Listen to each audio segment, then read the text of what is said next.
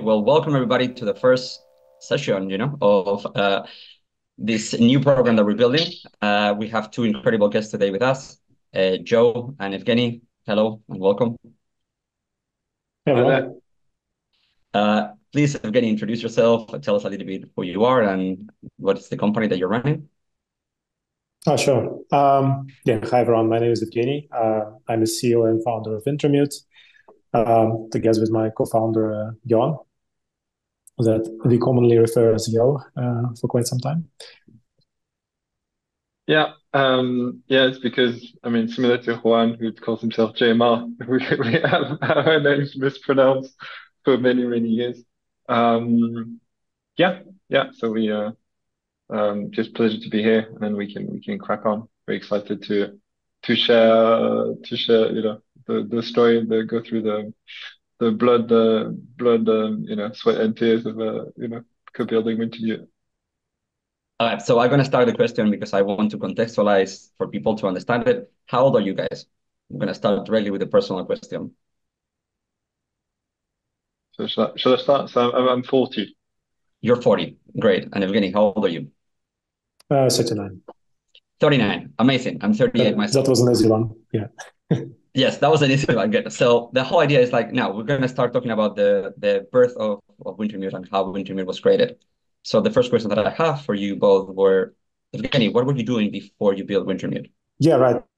Um, basically, I was in what like in crypto commonly refer as TradFi. Uh, basically, for 10 years before Wintermute, I was working at Optiver, which is one of the largest market makers in TradFi space. And what, what I was building there, what I was doing there is basically creating the ETF market making efforts uh, pretty much from the scratch. Uh, yeah, growing it from basically me to pretty much like 20 people team by the time I left. Okay, amazing. And what was the the decision? How did you came up with the decision of just, you know, maybe leaving your your job and just building a company or, or how did it came about? Yeah, it was kind of almost existential, I don't know, scare for me because basically I was looking at all the traders at Optiver. I was looking like where would they go, um, and they would either retire and do nothing, or they would retire and they would retire and do something like a mini Optiver, basically like a small version of it. But like I haven't seen any anyone doing anything ambitious or anything like super cool or something that I was would be like excited about and it all it was kind of crazy because well and scary because you like I was kind of worried that I my experience is becoming more and more narrow.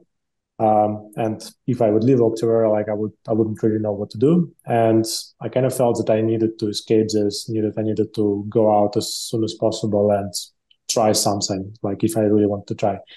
And parallel to that, Optiver grew from this relatively small and nimble company to into a proper corporate and it was really interesting to witness the journey and to learn basically from it how it basically grew into grew into having all this interesting and like not so interesting and kind of boring corporate functions like control and everything.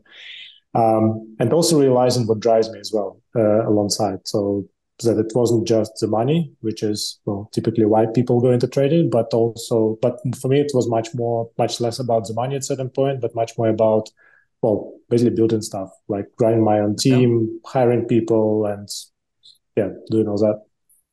And were you like unhappy on the trade or the job, or it was more like you really wanted to build something new from the scratch, or what is the the, the spirit, you know, of the of the founder that you had, that you had to do it? Yeah, it wasn't like unhappy. It was more like I didn't feel I was growing. Basically, I guess I guess that that was the main feel. I didn't feel I was growing. I didn't feel that it would take me anywhere professionally or personally anymore. Like I would just do same old, same old thing. I could stay for another five years and do the same stuff, but I would just be stuck in time forever. Okay, amazing. And then you decided to you had in mind already like Wintermute, a trading company, or what was the thesis that you started with? Oh right, and not, not at all. Like I didn't even I wasn't even thinking about crypto. Like I was primarily thinking, okay, I just want, I need to do something else. And I actually went through multiple things. Like I moved cities, I moved from Amsterdam to London, and I was exploring a lot of different things. Uh, I was looking at the startup scene. I was I even applied for uh, like uh, top consultant consultancy firms and uh, luckily didn't make it past the final rounds of McKinsey. Um, so like I, I actually explored quite a bit before I went back to the drawing board and uh, followed and basically started looking at crypto. Okay, amazing. And then you were not working with Joe yet, but you guys kind of knew each other already, right? You guys were in each other radar. I think Yoann knew me better than I knew him, probably because like I'm I'm generally not very good at remembering people. that's what that's why that's why we end up in the roles we are today. That's okay. Um, happy to happy to do to, to give a bit more background, uh, JMR. Yeah, of course. Yeah, tell so, me, tell me your story. Um, mm-hmm. Sadly, my first venture wasn't success like like Evgeny. Sadly, I had to go through basically three three others. I, the first one was was moderately a success. So uh, I also worked for Optiver between the 3rd of April 2006 and basically the 31st of March 2010. And as soon as I left, I I was uh, to to answer your question as well. As a, I was a bit frustrated. I was um, as Optiver had grown from this very entrepreneurial firm to a more more of a corporate, and I was more part of this generation that had been hired to to be more builders. Um, so I was 28 at the time, and I had two two of my juniors from Optiver who, who, followed me, who were 26. Uh, and then I had a moderate success, but a ton of learnings, not not aggressive alignments with um, with investors, and and uh, similar to Evgeny, I I thought I could do better. Basically, I wasn't I was the one senior guy there, and I just wasn't I wasn't learning. So I spent three three four years making some money, but uh, there to build a company, but but not you know not not not having not having the full alignment of planets. Then I spent time 2014, 17, especially more as a building two other firms, one on the venture studio side, uh, made a bit of money so between India and and uh, and uh, the UK, um, and another one that was cross-border consulting, essentially between more China and Europe, and um, all this came to essentially what most people would call a portfolio career as a you know investor advisor kind of career. And when I reconnected with Evgeny first, it was through an ex-Optiver called Nikolai in, in uh, who, who maybe still lives in uh, Boston. But essentially, he suggested that as Evgeny had moved to London, that I should connect with him and potentially co-invest. As, as Evgeny was saying, he was iterating on what he would do next. And I think I thought it was more actually it would be more us co-investing as a angel, business angels.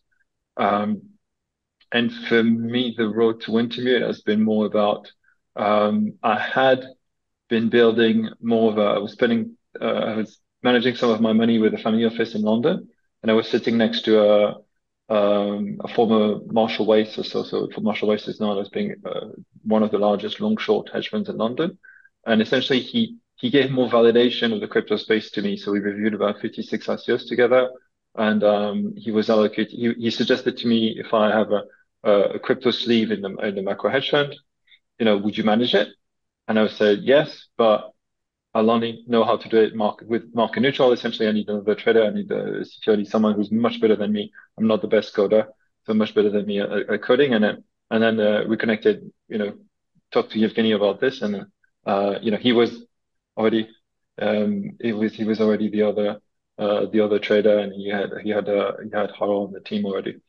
So um, so essentially, yeah, we we we got to uh, a very good uh, a very good fit there. Um, yeah. And okay, so now you guys started to well at this point Evgeny built the the first version of this by himself, and you were not part of the project, Joe. You joined, I think, is one year later, Evgeny, something like that. The timeline. Yep, like maybe half a year later, yeah, because we, we started later. working in July 17, and Yo joined around January 18, I think. Okay, and how were yeah, the first so we, few months? Sorry, Yo, go ahead. Yeah, I think technically we we the the cap table was essentially not formed, and then we we signed all the we agreed on shares and stuff maybe around December, and then it was papered in January 2018. Um, so I think yeah, the end of end of January 2018. But go ahead, yeah. Okay. And tried I tried to understand a little bit more how the the heart of the of the founder again. At this point, is this exciting? Is this scary? I mean, you guys just left the job that was profitable and secure and safe, and now you're coming to a, a new startup, you know, where money, uh, salaries are not really a thing, you know, at the beginning. Because how long it took you guys to start making a living out of out of this company and started making money and all that, you know? Yeah, I think like it's important. I mean, to a degree, both of us started it kind of easy.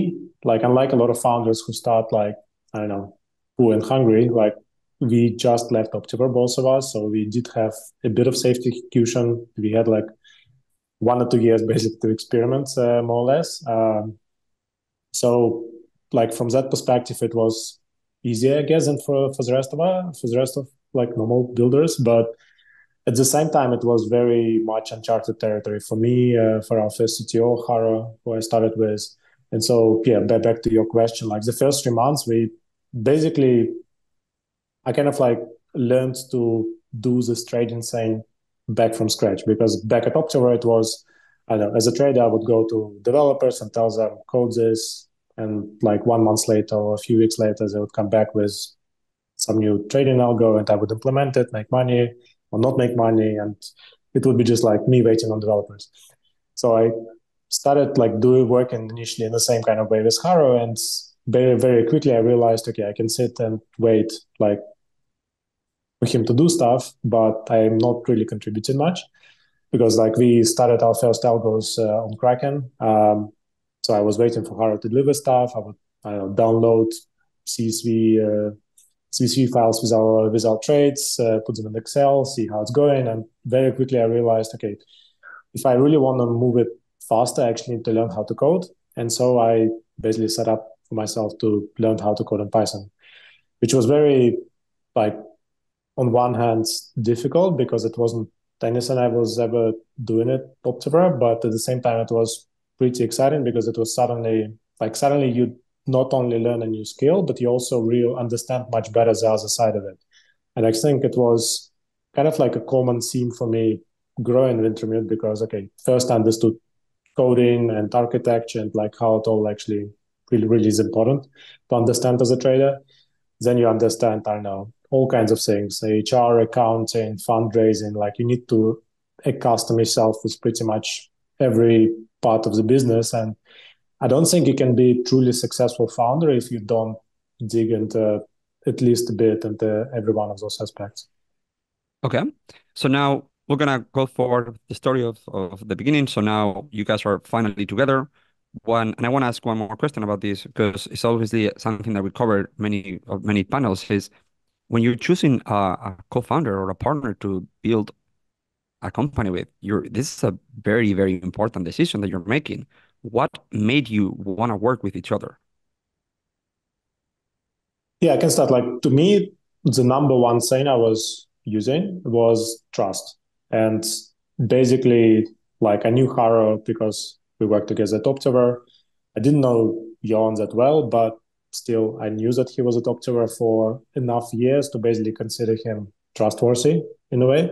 So that that was kind of like the most important thing for me, trust, because like hearing all kind of horror stories about like founders like kind of betraying each other and stuff like that.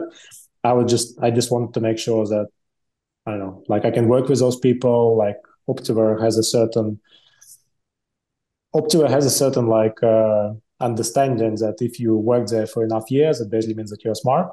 So it's like very was very easy for me to choose founders like this. And I think the second thing was just complementarity. So with Haro it was easy. It was just like he learned, he knew how to code. I didn't. And with Jon, it was much more on the fundraising side because I didn't have much clue about how to fundraise. I didn't know much about don't know fundraising scene in London, for example. I didn't know like the most basic concept even. And back then I w- I don't think I was confident enough in myself to actually learn it all by myself. I think now I would pro- potentially approach it differently, but like this com- complementarity between the three of us, it was also, yeah, pretty, pretty important. And for you, Joe, what was it? Yeah, similar thing. So on the Optiver bit, for people who don't know Optiver, in the trading world, it's a bit of a PayPal mafia. Essentially, there's a lot of people who have built all the trading firms. You know, we have a lot of ex-colleagues who've been quite successful at, as building trading firms in, in the TradFi space. Um, in crypto a bit as well. So uh, I agree. I think it's a it's an alignment of culture. Uh, it's it's very much um, very much completely uh, swimming in a in a Dutch culture where people are very very frank. They tell you very very straight to your face if you're doing something right, if you're doing something wrong, which creates a culture where you may be a bit aggressive, but it actually creates a culture it's um, where you learn very fast. And if you don't, if you can't learn fast enough, you just get fired after six months. So I think this is what what Evgeny is uh, is leading to when he's saying that you when you spend a few years there, you must be good. You have to be good. Uh, that's one thing. I think there's also a, a, good part of that culture that's more about uh, sharing. It's much more entrepreneurial than many trading firms where there's all these, you know, uh, company-wide bonus pools and so on. So people are much more incentivized in sharing information, and there's a big there's a big aspect of uh, growth there. I agree with the aspect of trust. I think for me, um, with the benefit of having had you know three other ventures before, um, where I didn't find sometimes. So my first one worked quite well, but it wasn't the perfect alignment with uh, with investors. But it was also with 2x Optiver. So there's also a bit of this revalidation about you know who who to work with. I think what's really important is um is essentially very much about um uh finding the best in terms of co-founder co-founder association is like where your spikes are. Um, and um, and it was very much even though my first title was head of trading, it was much more head of ecosystem as such because we had to do a bit of a, a piping and a lot of a capital aggregation. So fundraising was very general fundraising. It was basically getting equity shareholders on board, but essentially uh, also getting debt. And it turned out into much more of a BD role later, but it's essentially just getting getting all the anything that touches about financing and building the, the balance sheet to be able to trade from. Um, and for Evgeny, it's just trusting him as a as a product builder. Uh, you know, as a as a, as as a CEO, more more of a CPO first. Um, and yeah, and and and, and uh, having Haro involved, that I just thought was really really useful to get the skeleton, the skeleton.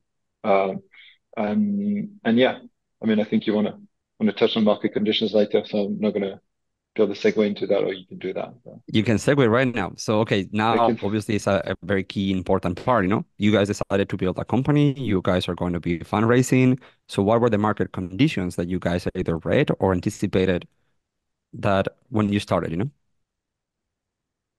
So, yeah, I mean, I can, I can, I can start on this on the, because it's very, very in line with the the fundraising question. Is that it was early, so we started early 2018 to raise. We had about half the round committed in March 2018, but our seed investor, who was lead, essentially wanted us to cover another, you know, another half a million. Essentially, we we ended up closing a closing the round at nine hundred twenty five thousand uh, dollars in, October of 2018, but it was it was difficult in terms of um, all Micron, as as Evgeny was saying, I knew a lot of people who could who could invest. True, but a lot of them were from the family, of family office or the hedge fund space, people who understood trading were essentially people who hated crypto at the time. Um, and uh, and that that proved to be to be a bit a bit challenging, but uh, but we got we got through that. And if it's difficult for us, my perspective is just if it's difficult for us, it's just difficult for everyone else to raise anyway. So uh, I think I think it's in general it's just a brilliant opportunity to to actually build in in um, in you know winters and in, in, tough cycles, and a lot of really good companies. Whatever, there's plenty of examples. Microsoft Uber was founded in 2008. There's plenty of good ex- examples of uh, people who build great companies in uh, in uh, low the low the low uh, low side of the cycle.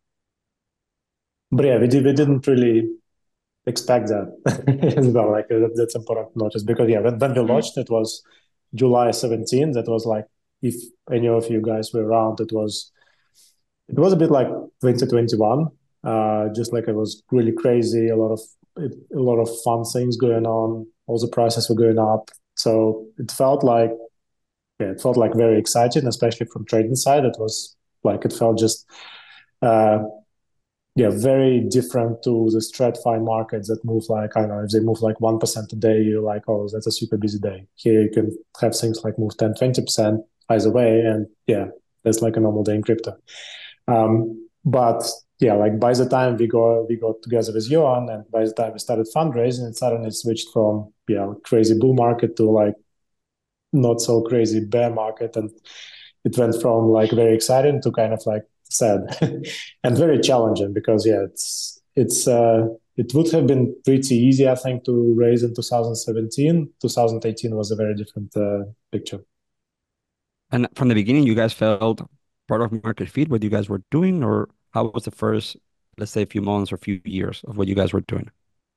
Yeah, like our first ideas that we pitched to investors back then was we would be a market maker for ICOs, which was a really funny, like really fun thing because yeah, by the time we pitched it, it was already 2018, and by the time we pitched it, like those ICOs that would pay us back in 2017 like a lot of money, like by the time we went in with this idea and uh, product, uh, it basically was kind of too late. Like less and less ICOs were popping up, and less and less of them were actually willing to pay for for any kind of for any kind of like services or any kind of like like trading related stuff. So yeah, our initial idea was okay, we want we will be market maker for ICOs, but we will do it in a like compliant, uh, like non-dodgy way because we've seen a lot of like market makers uh, who were basically just like pump and dumping, wash trading, those kind of things, and we wanted to position ourselves as a somebody who is not that.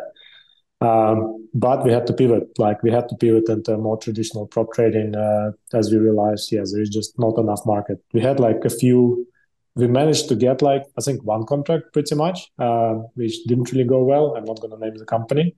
Um, but it was just like the typical scammy ICO kind of thing that we tried and we understood, okay, we probably don't want to do this kind of stuff anymore. Okay.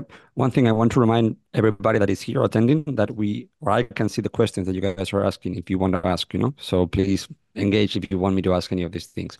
Okay, so now you have to you started a company, you fundraise in a time where it was not easy to fundraise, then there was no product market fit, and you guys have to pivot. How do you sell this pivot to your board, to your investors, to the world? It was even more scary situation, or you guys felt confident and hopeful that you could just turn the ship around and you will find this product market fit? Well, basically, yeah, I guess it brings us like the, the first round was like it was difficult, but it was basically angel round. And I think yeah. Jon can talk about a bit, bit about more, but we got quite lucky with our angels in general. Like they were very hands off and but also quite helpful advice wise, but like very much like non-involved from perspective like they didn't really push us to pivot or not pivot like they were okay we gave you guys money like yeah go execute the way you want so from that perspective we were quite lucky like hearing other like horror stories uh, out there I don't know, Jon, if you want to. Uh, yeah, so the, uh, the the the nuggets or the little wisdom I can share with other people is choose your investors wisely. Um, that was the main mistake uh, for my first venture, where basically I had more allocators slash funds allocating money to me when I was there to build a firm. That, so that was in 2010. And uh, and if you have too much of a mismatch between people who invest in you and what you want to build, especially the timeline that you need to build it. So me, we we essentially spent the first two years building tech. Uh, so Evgeny mentioned, you know, first first few algos in I think September 2017, I think for the first Kraken algos. And essentially, until mid 2019, we were essentially still building tech. So we only really got the first 100k of loan to trade and um, on the 6th of August uh, 2019. So that says that means you know there were essentially two years of building tech, and it, there were all the things that we've been building in terms of building networks, giving building good relationships with exchanges. Um, but essentially, uh, on the on the angel question, we found a very interesting fit where I was being told no by everyone I, uh, uh, I knew in the sort of the hedge fund and the trading space, but I was actually getting some yeses from angels or co-investors of mine in more Web two sort of B2B SaaS for, for more, you know, the co-investments I had made on, on the fintech, the fintech scene in London. And people were more long-term capital and people, especially people who had um, uh, a spread betting background, people with betting backgrounds essentially understand market making. They understand emerging economies, and actually some of them third third point overlap. They understood cryptos. So some of them had been, you know, uh, sort of day one, especially one of them was a, a day one investor in Ethereum. So we we used him a bit as a bit of as, as an advisor to us at the start as well, a bit to know who to speak to and who not to speak to in the crypto space. So choosing your advisors, like especially first first like two seed rounds as such, um, is quite quite key to find good alignment with investors.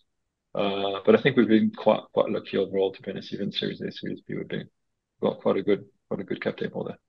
Uh, but yeah, I'll, I'll stick to that. Joe, what is a lot of appetite for to invest in you guys, or was it a hard one, you know, to fundraise? Um, there's always a lot of appetite. I like to fundraise as a FOMO. My best way to fundraise is just the train is leaving. Do you, do you want to jump on it? You know, so I like to do a revenue, more revenue led. So it was easier to do from CB when we had a bit more, a bit more traction. Um, we could show we were not really making money because 80% of the money was essentially going into fees, especially Binance already. Um, but we had more of a proof of concept. Uh, I think another element is it, it was easy enough for us to pitch ourselves as a as the best best team to do to execute on it. Um, but even with them, uh, even with that, it was I think it was pretty. Um, we had to make a choice early on to basically not trying to convert anyone to the crypto space. It's only people who were in favor enough of the crypto space, and then you know to talk to them, and then just not not waste time with people who are just religiously against cryptos, especially 2018, 19. Um, and, yeah. and, and, it was a it was also like double hard because not only we had to explain crypto, we also needed to explain explain market making, um, okay. and it's a pretty tough combination to explain. Yeah, okay. yeah, Evgeny came up with that. We had this slide that we used to run all the time with the big formula, trying to explain so really really synthesize how we made money because people were always asking. We we we lost a lot of VCs in conversation about what, what the product we were building. Because the problem of a, trading firm is essentially you build your own product, you're the own user, and uh, that was that was a bit of a um, that, that was a bit of a dead end uh, often. But uh, but yeah, I think it's just uh, it, it turned out to be more about us uh, getting enough trust uh, from you know the, the group of angels essentially and uh, uh, so seed A, seed B, and then just being being being at a level where you could show traction through just trading and how reliable things were. Um, and yeah, it's just just building building building traction uh, across. Uh, uh, okay, there's a few questions as well, but yeah. So I have a question for you that somebody yeah. asked. Uh, if you know there is not a lot of appetite for this have you considered, or I'm sure at one point you consider, hey, is it worth taking someone's money when we might not be a good fit for them, you know, or vice versa? We kind of have to get someone's money even though we don't have any fit, you know? So I guess it's yeah. I mean, yeah. You, you can start your own, and then maybe I'll chip in as well. okay, answer that diplomatically. We kind of have through through more convertible debt products and we bought these people out. So essentially, okay. we we found that like new geographies, we found people were like more. It's not that they were bad people, but some people, I think, uh, to to sorry to Evgeny's point, we had to explain market making to a lot of people, and some people understood we were building tech and we were more of a tech fund, which we are. But some people thought that we were more of a fund. And people who thought we were more of a fund were not really persons we really wanted long term on the cap table. So basically, we, we, we took people, some people who were considered more of the fund, and we, we brought them out over time to to make sure we had that that cultural alignment. Okay. So now let's put it in perspective. We go macro again. We have level zero is the beginning of, of Wintermute. Uh, I wanted to ask you about the brand before we move on for that, because I, I think that's an important part. Why Wintermute? What does the brand mean to you as a founder? You know, what does it mean being associated with the brand that you created that is so close to you? Yeah, I guess like I, I can repeat because like maybe, maybe some people some people already know the story, but yeah, like when when I started, I wasn't that much into crypto. It was just uh, something that traded a lot, um, and I thought, okay, like if we want to appeal to this crypto culture, which is most likely like very geeky, I just wanted to pick something that would appeal to this audience and like appeal to everyone from that perspective. So what I did, I basically I needed a name, and I really like coming up with names in general. I guess it comes from I don't know, like playing a lot of uh, role playing games in general, like where character creation just takes like hours usually for me. Um, but basically, I googled top ten science fiction novels of all time, wrote down all the main characters from that list, and Wintermute caught my um, caught my attention because it was just like very unusual. And I haven't read the I haven't read Neuromancer back then, but I thought, okay, that sounds that sounds like geeky enough and fun name, and it's like one of the main science fiction books. It will definitely like appeal to some people at least. Um, and as for logo, I basically did it also very like cheap, I guess. I basically like there is a website called 99 Designs. So I went there and basically I did a I did a contest for I think like something like 199 pounds, um, and I got I don't know 20 subscriptions or something, and uh, I shared them with friends and family, and ultimately chose the ones that you guys see in front of you now. Um, and I've been quite happy with it uh, so far. I don't think we're changing it anytime soon. You you do have a good eye for branding, so I give you that. And obviously, another thing that I want to talk regarding the brand is, at the end of the day, the company becomes you, and you become the company. There is obviously so much of you guys in your own brand. So I want to talk about the culture. You know, at this point, you are already finding product market fit. You're already fundraising. You're already bringing the employees. So you now have to set up the culture for the company. How was that for you guys? I think like initially, what I copy like I copy pasted a lot from Optiver simply because yeah, like what Yoann already mentioned was like a very it's a very flat structure. Like it's not really about hierarchy. It's about like well who you are and uh, like you can go and talk to CEO CEO at any given time. Like it's it's like very flat. It's very direct. So like people express their opinions like very freely, which I also thought would be nice to copy. And um, also I wanted to copy this. Like a lot of trading trading firms operate in a siloed way. Like you have different teams pretty much competing with each other under the same roof. And Optiver is kind of opposite of that, where like because of the shared bonus pool, people are like kind of like very very much incentivized to cooperate. So that was another aspect that I really wanted to copy paste it into the Wintermute as well.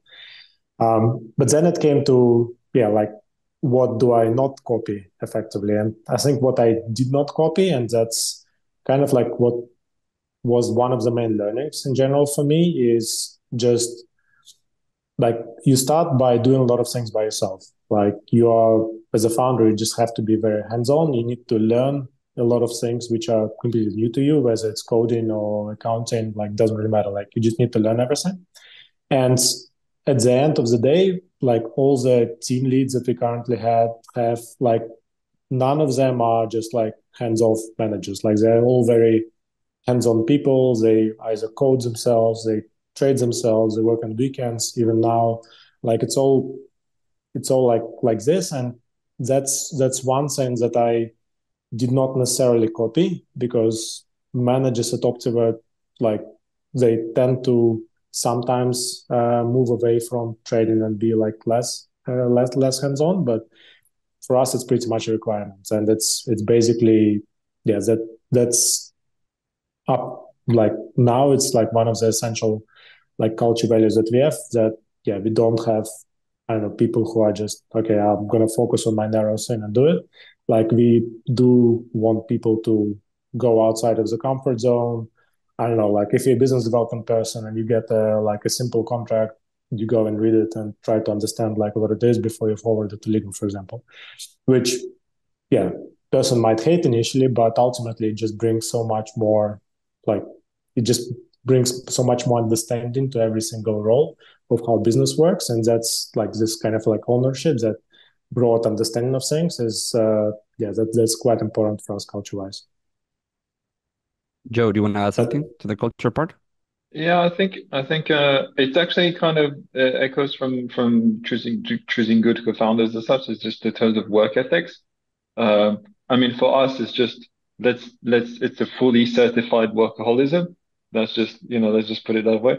Uh, so we we we uh you know we we crystallize this around sort of you know meaning and so on. It's true we don't do that for money and so on, but it essentially we will want to grow and be quite active and then we we I think there's there's a general um, focus on doing things well and then to do things well we just have to spend the time uh, on it and uh, and uh, yeah to to Evgeny's point I'm more um, you want to be in a position like we are where I use uh, it doesn't happen too much because I'm on on this time zone, but I would just ask our head of trading, who happens to be also French, but would you know work quite long hours at 3 a.m. to kind of switch off and uh, you know take a bit of rest or so.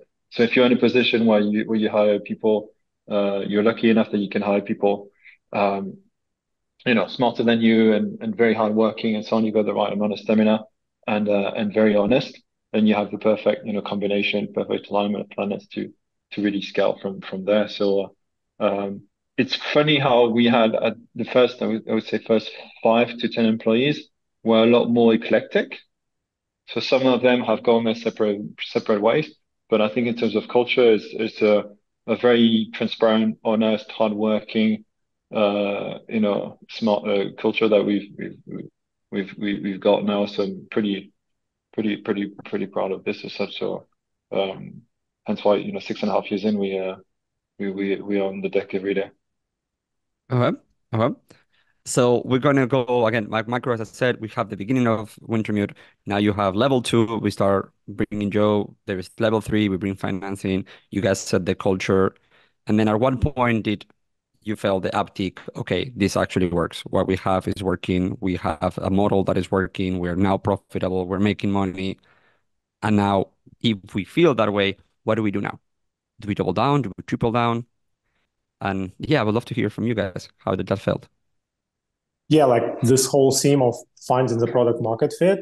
I feel like like most people think, okay, like you have an idea, you execute, and then you get there. But like I think like from my experience uh, with Wintermute, it took us some time, and when it happened, it was almost unexpected. So like throughout 2019, for example, we worked hard, like we built those algos, we improved those algos, and it was just not working good enough. Like it was covering the fees, we are making a bit of money every month, but it was just like not enough. And then January 2020, everything suddenly clicks. And it was like three or four things that combined made it so but we've tried like different combination of three or four things like previous months which didn't work.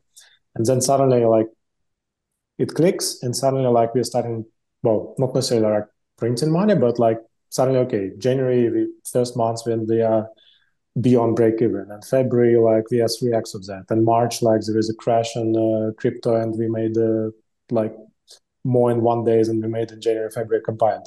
Like, and then then kind of like starts, uh, yeah, just starts rolling, and that's when I guess you realize, okay, you can, like, you can go with it like it is now, or you can actually, like, you can actually work hard to scale it and bring it to the next level. And that was kind of back in February and March. That's when it really clicked, and it was a really interesting, like part of uh, yeah it was really interesting thing where at on one hand we were making money finally.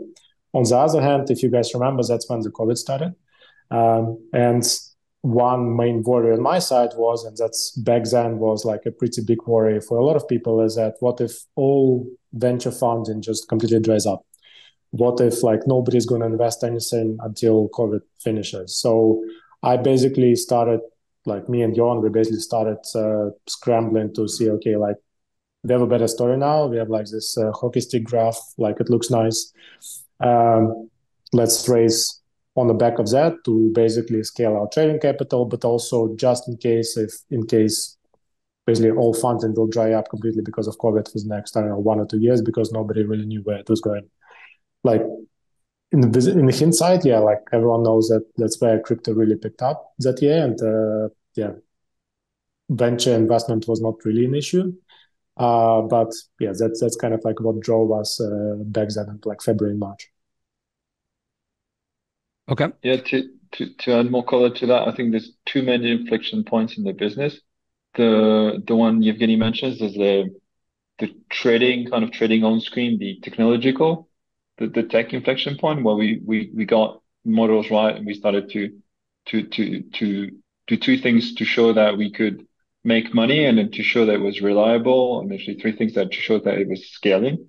And especially the, the movement. So the, I think it was 13th, sorry, 12th, 13th of March, 2020, where essentially Bitcoin saw 3,800 printed printed sub 4,000 at that time uh, during during the the the, the crash. And um, and and we had we we actually the, infrastructure showed to be quite resilient, which is great for venture investors and so on. So especially when people don't fully understand what you're building, they just see revenues. They just they you know it's just proof, proof is in the pudding. So it's really really really useful. I think there's another inflection point on the on the commercial side that was more about us covering uh, you know from a market making point of view, basically the first few big foundations towards uh, the summer and essentially mid October, especially 2020, uh, when we when we started to get a lot more traction commercially. Okay. Um, and that's, so that, no, sorry, that's uh, you want to finish the thought? Go ahead. Sorry. Yeah, and then yeah, that's that's that's about it. Um, so now to again paint macro picture, now things are working. Now there's an upstick. Now you have to figure out, okay, now we need to fundraise again, or we need to figure out what to do because COVID might just hurt everybody and everybody stops. So you fundraise again? Yeah, pretty much. And okay, that one was a bit different. Uh, like the previous two rounds, like were painful. Like it was crypto winter still, like it was really hard. That one we actually got to a point where we had like venture funds competing for us, which was like quite nice for a change. um, and I mean that that's kind of like that that tells you all about it about yeah like once you once you achieve this product market, market fit, once you can demonstrate this hockey stick graph, like that's when yeah magic can happen and you don't need to rely on like luck or connections or anything else. Like it's it becomes much much easier, and it, it obviously like it plays a big like the part of the market market cycle you're in plays a massive role in it as well because like not known to us. That was like pretty much the beginning of market cycle and a lot of venture funds already kind of like knew that. Okay. So now a lot of people always think like oh fundraising is the objective. But no fundraising is the beginning. Now you fundraise. So now what? You're trying to go to another level you know? You're trying to scale your company to somewhere else. So what was the let's say the hypothesis or the thesis for that fundraise and where do you guys want it to go? Basically the main thesis was like we had a pretty small balance sheet. As a trading firm, you need you know like you need as much capital as possible. Um, so the main purpose for fundraise was to to scale our balance sheet to basically like double or triple it, so we can deploy more capital and make more money. Because we, we knew that we like our strategies were profitable. We knew that we can scale them way beyond two x. Uh, like if we two x our capital, we still make pretty much the same. Like well, we'll like double what what we can make effectively. Um, so it was a very easy, well, not not necessarily like easy, like right. It's the the dilemma you're facing. Okay, do I dilute myself to go faster, or do I just grow organically and normally? And basically, the decision we made back then was, yeah, we just want to accelerate because okay, we see things happening, we see that stuff is working.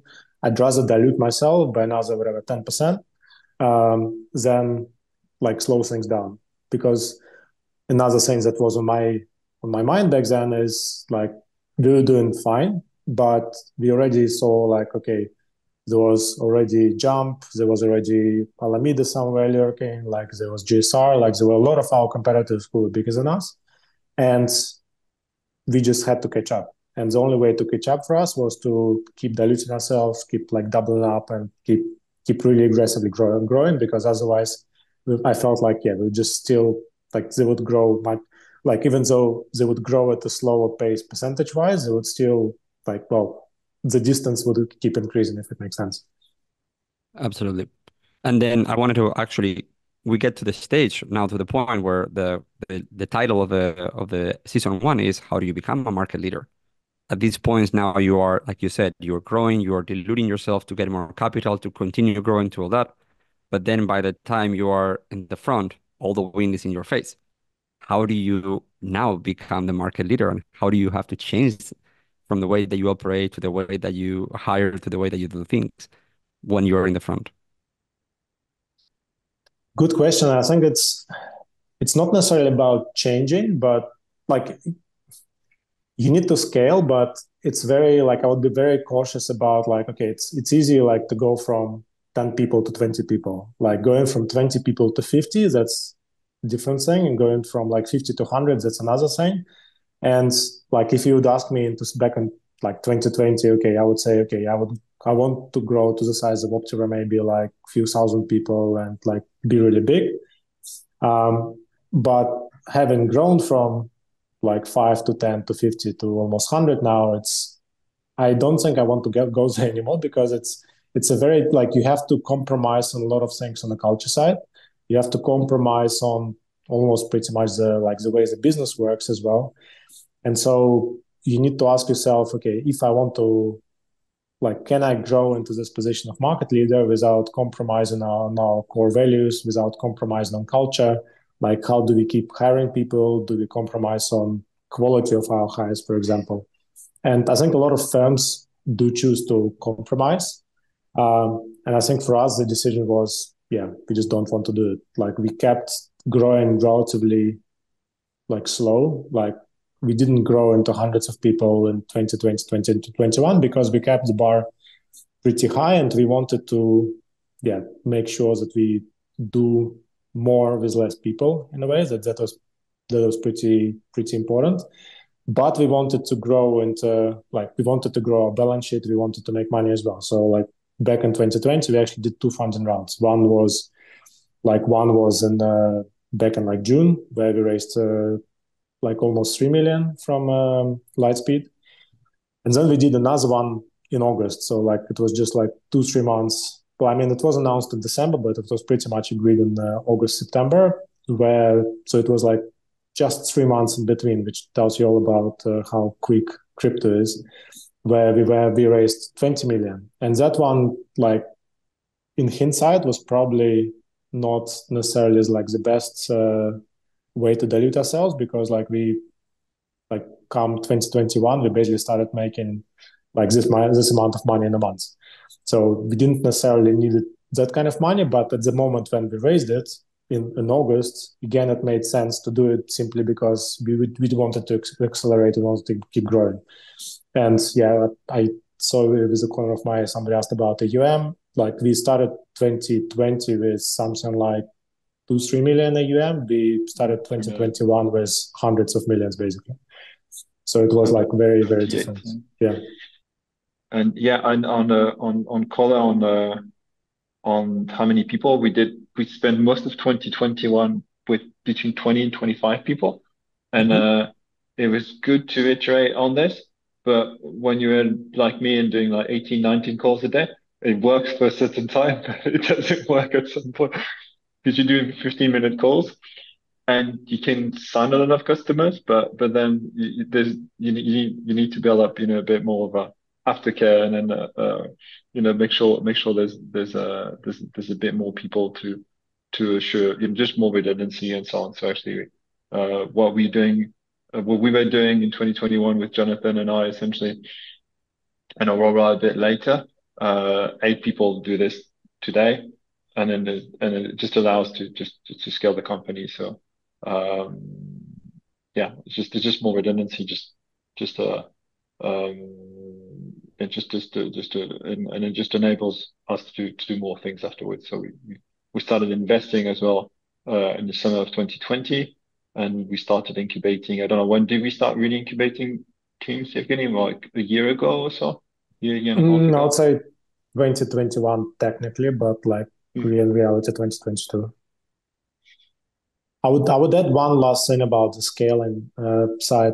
Like a big factor was how the compensation is structured at Wintermute. Uh, because we have this shared bonus pool, like there is a very important concept of like we don't have like what some other companies might easily call like useless people. Everyone we want to hire one way or another they tap into this bonus pool. Some more some less but like everyone has exposure to it. And that basically creates this uh, other dimension to it that okay you you hire this person he will effectively take a slice of a pie of everyone else. So you want to make sure that he increases the pie enough so that everyone else like will be happy with them joining and that's that's pretty interesting part of the like like implied part of the culture in a way that we like don't hire useless people in a, in a way. I'm very uh, curious that you chose to share this today because I obviously had conversations with you about this, and it's a very unique way of thinking. uh, we're going to go a little bit further uh, on the time that we wanted because I think that this conversation is very good and there's a few things that I really want to still go through. By the time that now you guys are talking about all this market share, all these things, there's more money, there is more things, there is more objectives. What keeps you going? I mean, at this point, you could just go and just drink pina coladas in an island, but you guys wake up and I see both of you how passionate you are, are and how much you work and how much you travel and how much. Why? What? What is this this drive that you guys have? Either of you. you, know? I can, no, I can start. I'll let you on start. Yeah, I can, I can start, and you can piggyback. It's okay. Um, I think there's there's always a sense of meaning as such. I think personal growth is really really important. I think um, you know, so just for myself, I just I don't exactly know what else I would do. If I, to be honest, if I wasn't building, I would probably just be investing, and I would feel frustrated. in investing, I'd probably just do uh, sort of side building as such. So I think I think for me, it just makes sense in terms of who I like to work with, who I can learn from. Essentially, it's, it's very much the I, I feel that I'm surrounded by people smarter than me, which I love, which is which is exactly how we should hire people. So I can go and piggyback on uh, whatever the DeFi team when I need to learn about a new protocol that we may want to invest in. There's there's um there's a ton of uh, interactions that are that are intellectually stimulating. Um, on the personal level, I've moved to, to Asia a few months ago, and I, uh, you know, I, I, find refreshing to learn new languages and so on, and just to learn new, new cultures and so on. It's quite quite interesting to see how, how things work here in Asia. Um, I I think the only thing is I would say just like I don't see what else I would do to be quite honest. One thing, and then two, I think we um, appreciate my luck. So essentially, I think it, having had other ventures that didn't necessarily do as well for you know many reasons, and it's just uh, not going to expand on this, but I think I think it's just uh, good to to appreciate the uh, the opportunity and just to respect the opportunity. So um so yeah, that's that's the gist of it really. I would say on my side, like to start with, I'm not like I'm very low maintenance person. Like I don't find it fun to I don't know buy an expensive car or expensive watch or like I'm like I don't need much to sustain myself. I don't need much to like I don't know many things to buy. I know like I can buy whatever I have okay, I have three kids, so that that adds quite a bit to the burn, but it's still like manageable. Um, but yeah, like at some point, okay, I can buy like a whole Star Wars Lego lineup for that particular year. Like it doesn't take much money, or I can buy like all the new Warhammer sets, like that just came up.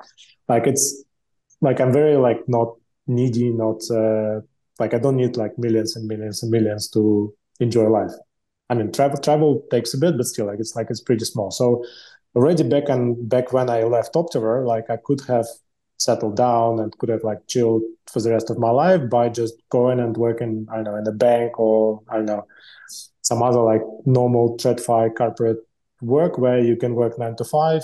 Like I think a lot of people do recognize that like a lot of those jobs you don't need to work super hard to just be there. Um, like it's pretty easy for like ex trader with 10 years experience to find a chill job and relax and enjoy the, enjoy his days. So already back then it was not an option for me because like there is no glory in that, there is no fun in that, and I just knew that it would be kind of like a slow death. Um, and yeah, building Wintermute has been like first few years were pretty brutal. Like it was pretty tough uh, from like on one hand you're building something, but on the other hand you actually have no idea whether it will work out or not, and whether it will I know be like a massive blow up and just did not work. Um, but once things start working, that's kind of like that's when I kind of rediscovered that part of myself that yes, on one hand, yeah, like I don't want to slow death. On the other hand, like there is this very clearly this element of uh, leaderboard in my head, like I know there is like a leaderboard, I don't know, global leaderboard of I don't know people in crypto, market makers in crypto, or just like people on the planet. And what kind of drives me, uh, and that was kind of like what I learned about myself during this journey is like I do care about this leaderboard. I do want to grow. Like so, it's not about whether I have like I don't know one million or ten million or, or one billion. It's it's more about like where I am on this leaderboard, where Wintermute is on this leaderboard, and but also like what kind of brand we create behind it? Like that i'm growing and like i'm growing on this leaderboard playing by my own rules and doing it in the ways that i enjoy basically. And i find acceptable and i find like i don't that we don't screw people around for example that we don't like scam people that we actually do it in a in a way that it's legit and that that i can be basically proud of i guess. And i can basically give it back to i don't know that I basically can tell about it to my kids without them being saying, okay, oh, my dad is a scammer, which I think a lot of people crypto, yeah, might find challenging uh, those kind of conversations. Uh, but I don't like I I can have those conversations. I can have those conversations like really nicely, and I guess it's like part of part of the part of this goal for me is yeah to to be able to tell to my kids, okay, guys, like yeah, I built this. This is amazing. That's awesome we have a few more minutes. Uh, I want to have a few thoughts from you guys, you know, from learning from your biggest mistakes or biggest challenges, or just let's say like the top three things, you know, that you, if you could only tell this audience three things, what are the three advices that you have for them? Uh, Joe, do you want to start? Um, big learning, personal learning is I'd like to think I can understand complex stuff, but I'm not the best explainer. So I think communication has been like a big thing to that I've worked on the last the six, you know, five, six, seven years or such. It's internal communication. So it could be with Evgeny on like getting the best alignment of what, what are we building here, what are we here for, and what, what are we working on. That's always it became as we grew, actually it became more and more obvious. It was kind of easier in some ways. Um, but I think it's just it's just uh it's something really, really key.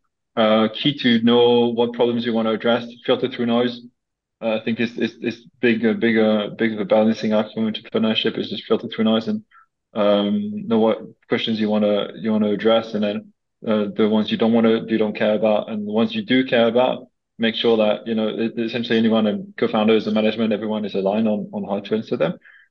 Uh, one thing I learned really the hard way with, with fundraising is uh, was essentially uh, was essentially uh, better storytelling or not explaining really what we were doing, but just uh, something that uh, I mentioned it to you, JMR. Actually, I was uh, I was on a I was doing a fireside chat in Dubai, but I was also part of a panel. I was judging a panel of uh, startups pitching, 13 teams pitching. No one telling me they're the best team at solving the problem. They, they, they. So they're just very good at identifying problem and just saying, okay, we need this to to to to make it work. But basically, they just didn't know um, they couldn't summarize that they were actually the best team at solving solving this this specific problem. And it's just I think I think a better storytelling just uh, um, is is really key. So better communication, you know, internal externally. Um, on my personal side, resilience is good to a point, but but uh, you know, being being resistant to pain and so on is not always good.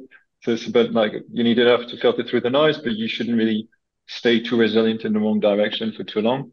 Um, so you know, it's, it's also a balancing act, um, and also continuously just balancing exploration and and and and what to focus on is is also a balancing act, and not not hesitate to crowdsource, uh, you know, crowdsource that that decision and uh, crowdsource a bit of thinking as well with uh, with people you can trust, but always with a bit of a you know a pinch of salt, a bit of a, um, yeah, just a bit of a bit of attention, etc yeah, that's okay. that's pretty key things on my side. Amazing, Evgeny, your turn. Um, so let's say, yeah, I'm not sure I'll do three points, but like number one would be, yeah, I'll do it a bit controversial, like be delusional. Um, there are kind of like two aspects of it, of it to me. So like first aspect, like don't underestimate yourself because it's very easy. Like one thing I kind of very much changed in the way I operate is like I'm that kind of that kind of guy who plays those I know RPG games where I'll do every single side quest, I'll do like every single thing, I'll get like the all the best legendary weapons, and then I'll go and like really destroy the final boss with like no challenge whatsoever. And I'll take like my sweet time for that. Um, I had to change it like quite a bit for myself because like back when I did Wintermute, I thought, okay, I'll uh, there is so much competition like there is no way we can beat it so we'll focus on like some niche things that nobody thinks about so we focused on this like market making and for ICOs which was like very unambitious and it ultimately delayed us quite a bit because if we started with if we started with prop trading, if we started with like going into the most competitive things, back then it wasn't that as competitive actually. Um, but like it was kind of like limiting belief on my side that yeah, I just wouldn't be able to compete. So you have to be delusional and think, okay, you better than you think you are. And the second delusional thing is, yeah, you, you should not overestimate competitors, competitors. Like you should not think that everyone is better than you, or like you shouldn't think that like those legendary companies are as good as you think they are because companies are just companies made of people. They make like exactly the same mistakes, and people are like far from perfect. And it's actually most of those companies look much better from outside than they're actually inside. And it's actually not that hard to compete if you um, like if you just believe in yourself. So you have to be like ruthlessly delusional and just drive yourself create this narrative create this storytelling like basically tell people and especially to people inside the company you just like need to keep telling them okay guys we can do it. And a lot of times you will fail and that's just how startups work but you cannot be like modest and careful because then you will like you just handicap yourself too much. That's kind of like one thing. And second is survival is everything i guess. And we spent so much time in 2019 fundraising like Yoann kind of touched on it like all kinds of weird places all kind of weird structures. But if we didn't survive in 2019 like we wouldn't be where we are now and that's that's ultimately that's ultimately the ultimate test. And now we're in another bear market. Who knows? Like maybe next year it will pick up again, but maybe not. So you just need to survive, and that's that's super super important. Amazing. That was very inspiring. We're gonna do a very fast Q and A. Uh, we're gonna say questions, and either of you guys can just pick it up. You know, first, how do you find good investors? You know, it's obviously one of the questions that you kind of touch upon. But if you want to talk about it, how do you find good investors? What are you looking at when you're trying to find a good investor? I think like I, will I'll quickly quickly do one, and then uh, Yoann can probably cover it much better. To me, it's all about people who understand the, the understand us, understand how it works, and leave it pretty much to us to do the things the way we want them to do to do things. And you can usually, like from my experience at least, you can filter out those people pretty much on the fundraising side. Like you can already see how involved they would be or how like I don't know too hands-on they would be. And I would I would generally like unless you actually need certain amount certain type of expertise from those people, from like those venture people or angel people, I would advise against like too hands-on guys who would, I don't know, require investor updates every two weeks or like call every now and then when something happens. Like just don't go. I mean, unless you need to survive and you are not, you don't have opportunity to choose. Like don't go those kind of people. All right. That question was from Lin Nguyen. We have another question from Jin Hao that says, should first-time founders look for advisors, mentors at the early stage? And is, is speed execution the key to success? Or what other factors do you think that are important? Joe, so, your turn this time. Yeah, on the advisory side, it just uh, depends how much it costs you as well. I think we see, I get, I get annoyed with seeing advisors just taking too much of a uh, share also first-time founders. Uh, got annoyed in from early 2010. I had a lot of uh, Web two investments. I went through incubators, and then there's just getting um, getting a bit robbed through incubators for a small programs. So I think it's about it may be easier to go to entrepreneurs, it may be easier to go to people who've built in your space and uh, ask them for advice. And it's usually the best advice you're going to get are from other entrepreneurs, really, but not really from the investors per se. Or, or it's more, they may be investors now, but they, they often have been, you know, entrepreneurs themselves. So I think, I think is just, you know, be a bit careful about, um, about the advice you take. I think the best advisors will be your future customers or future users not really the investors. So I think it's I think it's just you know just be careful about where the where the um the, the advice comes from.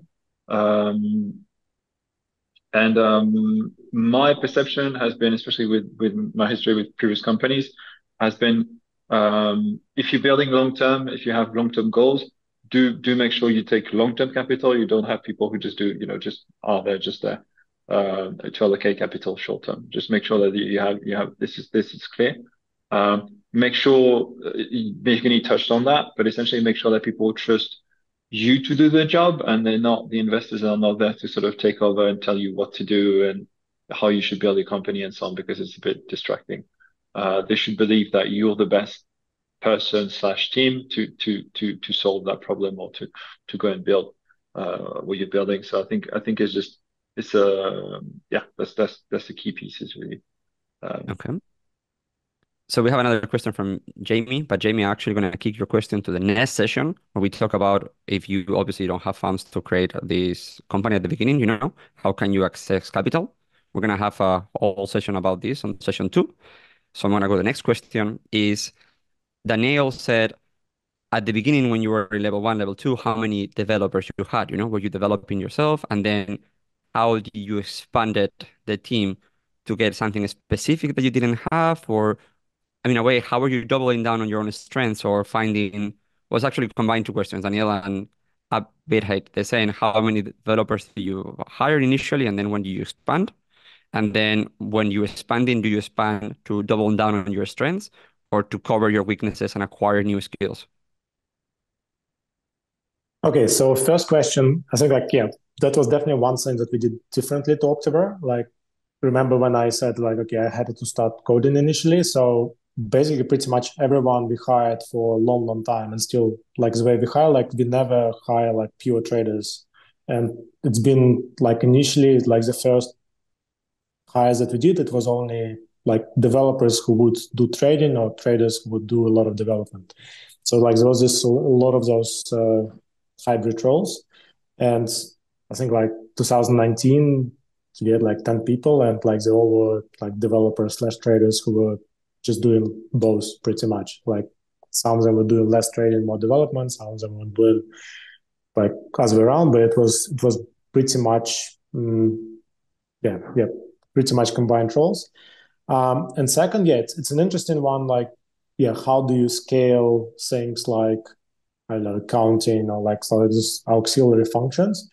And I think at some point, like for longest time, we were doing it ourselves, but like especially if you look at Alameda, for example, Alameda, Alameda FTX stuff, like they didn't have CFO.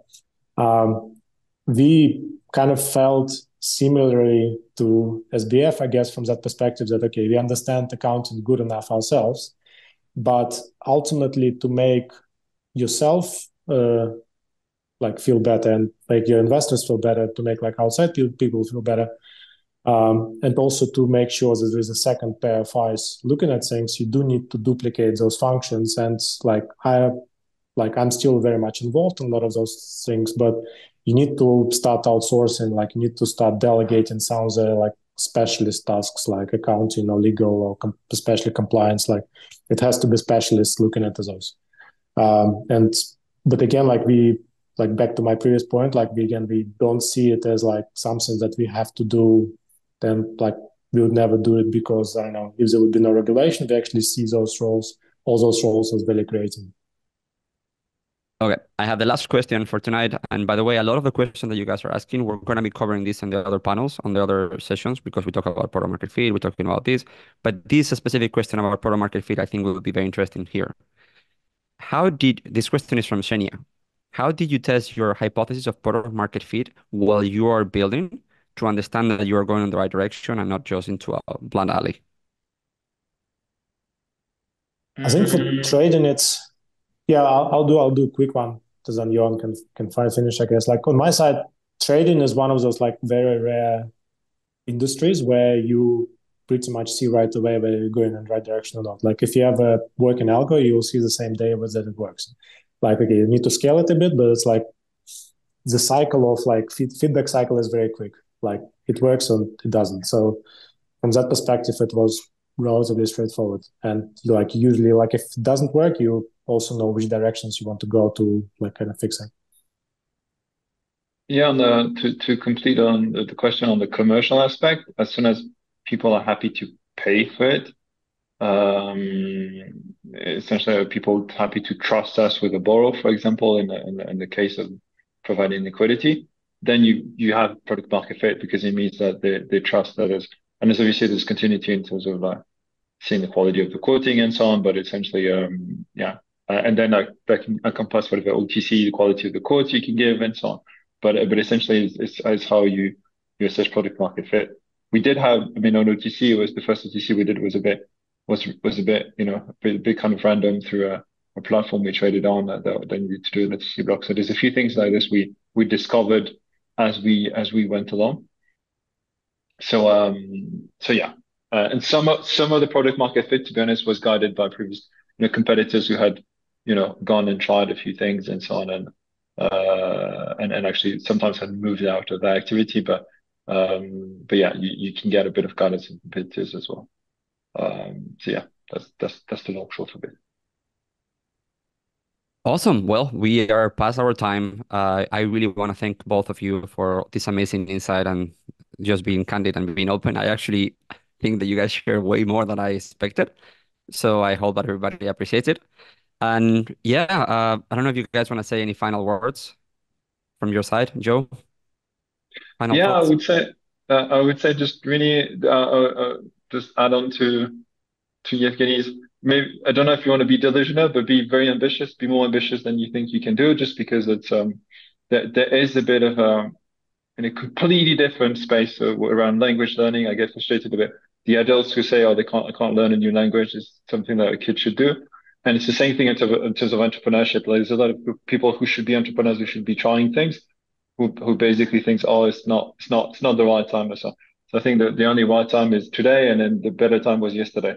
So if you want to, you know, try something, just just go and try it, and and um, obviously just make sure that you can pay your bills and so on in between. But but uh, yeah, just don't don't hesitate to try stuff. Essentially, I think people people should try more. Evgeny, yeah, like on you? my side, I, I I couldn't like it's pretty much what I would have said. I guess yeah, it's you just need to you just need to go and do it and see if you are built for this basically and set yourself a goal. Okay, I can I will I will sacrifice two three years of my life for this and see if it works. And yeah, if it doesn't, it doesn't. But you just have to go all in. Like you have got to kind of like do halfway. You just need to, yeah, you need to be delusional and uh, try it